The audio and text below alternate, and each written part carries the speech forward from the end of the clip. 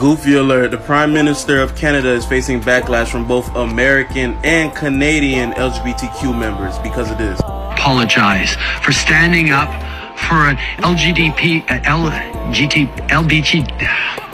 LGBTQ. The LGBTQ community are highly upset for this little mistake, and now he's facing big backlash.